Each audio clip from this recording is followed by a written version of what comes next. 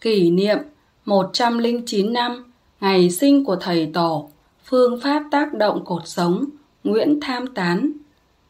Rằm tháng riêng năm ấy, 1915, xuân bính thìn, đêm đầu năm, cái rét như cắt da, mưa xuân hơi nặng hạt, đêm rằm mà không trăng, trời đen sậm, tại một bản làng heo hút, tối tăm giữa vùng rừng núi miền Trung Du Phú Thọ.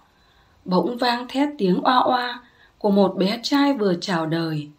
Tiếng khóc xé tan màn đêm, vang xa giữa sự yên tĩnh của núi rừng như dự báo một điểm gì mới lạ. Phải 50 năm sau, cả vùng rộng lớn của sáu tỉnh phía Bắc, mọi người mới biết tiếng tăm người con trai ấy. Người dân cả vùng thường gọi đó là cụ lang tán. Tiếng lành đồn xa, ai cũng ca ngợi cụ, chữa bách bệnh.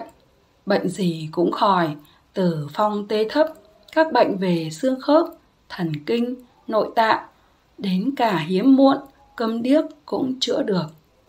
Người ta nô nước kéo đến nhà cụ để chữa bệnh, đông đến mức chính quyền địa phương phải khó khăn lắm mới can thiệp được. Cụ lang tán hay thầy tán sinh đêm 15 tháng riêng năm Bính Thìn, tức 28 tháng 2 1915 tại xóm nhỏ Trại Sơn, Hoàng Xá, Thanh Thủy, tỉnh Phú Thọ. Cha mẹ cụ quê gốc tại làng Thạch Bích, tổng Thanh Oai, Hà Đông, nay là Hà Nội. Gia đình cụ thuần nhất, làm nghề nông, không có ai làm thầy thuốc. Đời ông nội cụ Tán đã di cư từ Thanh Oai lên sống tại xóm Trại Sơn Hoàng Xá, Thanh Thủy, Phú Thọ. Thời Pháp thuộc đây là vùng rừng núi bán sơn địa, có rừng nguyên sinh và thú dữ.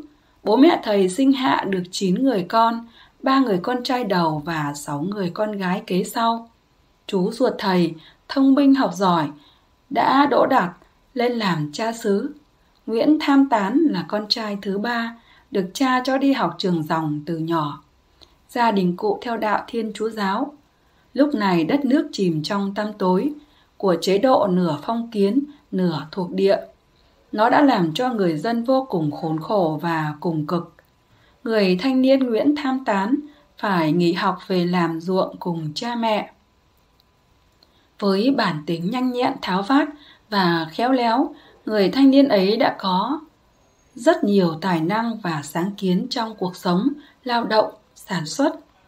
Năm tham tán 20 tuổi, mẹ ốm nặng, sau khi sinh người em thứ 9, ông cùng các anh võng mẹ chạy bộ gần 20 cây số đường rừng sang bên kia sông Đà, tận Ba Vì tìm thầy lang chữa bệnh.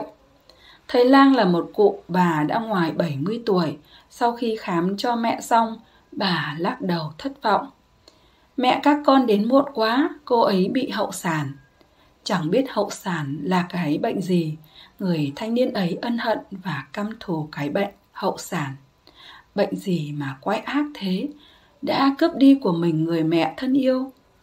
Đây cũng là lý do thúc đẩy chàng thanh niên lớn lên từ bùn đất, ruộng vườn trở thành một thầy thuốc. Chôn cất mẹ xong, Nguyễn tham tán khăn gói vượt sông tìm đến bà lang nọ xin học nghề thuốc. Sau gần 2 năm phụ việc và học nghề, trước khi chia tay, bà cụ đưa cho thầy tán một quyển sách nhỏ và dặn Cố gắng, mạnh dạn mà làm. Khi nào khó khăn, con cứ mở quyển sách này ra mà xem. Đó là những bài thuốc quý. Bà hy vọng và tin tưởng ở con lắm đấy. Trong con có nhiều điều đặc biệt mà ta chưa từng thấy ở đứa học trò nào. Từ đó, thầy hành nghề làm thuốc chữa bệnh. Mọi người trong xóm, ngoài làng thường gọi là cụ lang tán hay thầy lang. Công việc hàng ngày của thầy, sáng vào rừng đào cổ, hái lá, bẻ cành, chiều về làm thuốc chữa bệnh. Ngoài ra, thầy vẫn là một người nông dân chính thống, biết cày cấy, làm đủ tất cả mọi việc nhà nông. Vốn tính hiếu kỳ, năng động, người thanh niên ấy chẳng chịu ngồi yên. Mỗi khi đi rừng lấy cây thuốc, nhìn những con khỉ hay thú rừng lăn lộn đưa cái lưng xuống đất hoặc cọ cái cổ vào gốc cây vách đá. Rồi những con trâu con lợn nuôi ở nhà cũng hay có những động tác như thế. Thấy lạ, thầy hỏi cha. Cha ơi, tại sao các con vật nó hay lăn lưng xuống đất và cọ cổ vào gốc cây vách đá? Cha bảo, chúng nó đùa nghịch đấy, con để ý làm gì? Nhưng không, anh vẫn thắc mắc, rồi thỉnh thoảng trong bản có người ốm, cảm cúm, họ đều bẻ bão ở cột sống, đôi khi còn bôi vôi tôi vào lưng, vào cột sống, cũng đỡ bệnh và khỏi.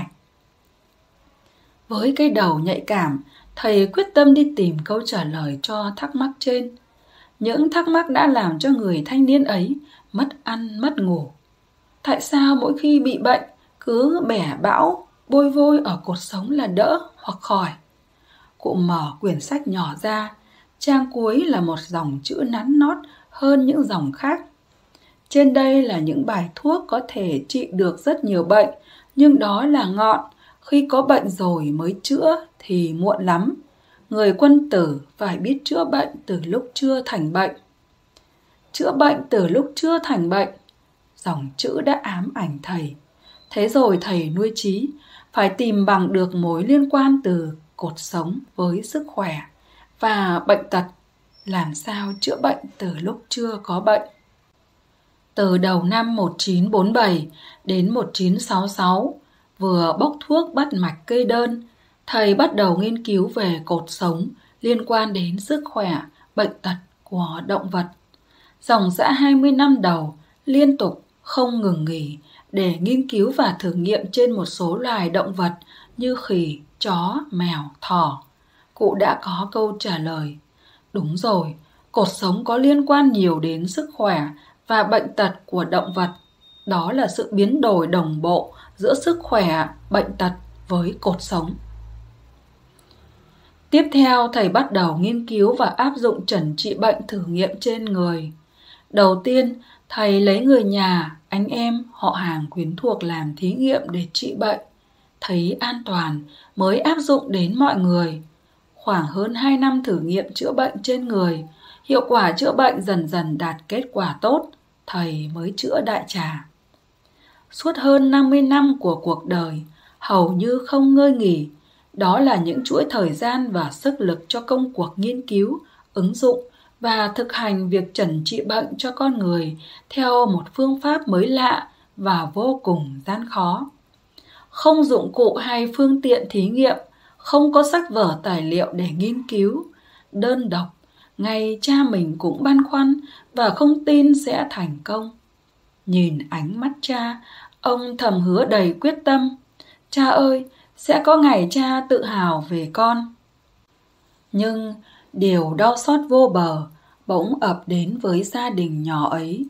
Chiều ngày 19 tháng 9 năm 1949, khi hoàng hôn vừa buông xuống, chỉ còn những tia nắng yếu ớt cuối ngày giữa vùng đồi núi yên ắng thanh bình và tĩnh lặng. Khoảng 16 giờ 15 phút, một tốp máy bay, hai chiếc Dakota bất ngờ từ phía Hà Nội bay lên. Chúng chút hàng loạt bom xuống cái xóm nhỏ trại sơn ấy. Một quả bom rơi trúng căn hầm tại vườn nhà thầy. Những tiếng nổ vang trời đã phá đi sự thanh bình của trại sơn, cướp đi năm mạng người. Chỉ một người văng ra xa còn sống sót, đến nay cụ bà vẫn còn khỏe, nhưng bị điếc, đặc. Năm người ra đi mãi mãi là cha của thầy, cùng với người con trai duy nhất mới 6 tuổi và ba người cháu ruột đều là các em nhỏ. Có nỗi đau nào hơn thế, thầy suy sụp trầm trọng, tưởng như gục ngã. Phải 6 tháng sau, thầy mới tiếp tục công việc nghiên cứu đầy khó khăn. Nhưng khó nhất là không có nền tảng khoa học, chưa có nước nào nghiên cứu bộ môn này. Ngay cả cái tên của phương pháp cũng chẳng biết gọi nó là cái gì. Dòng dã hơn 50 năm cẩn mẫn, nghiên cứu trong sự im lặng, rèm pha, chê bôi của mọi người. Nhưng thầy không nản.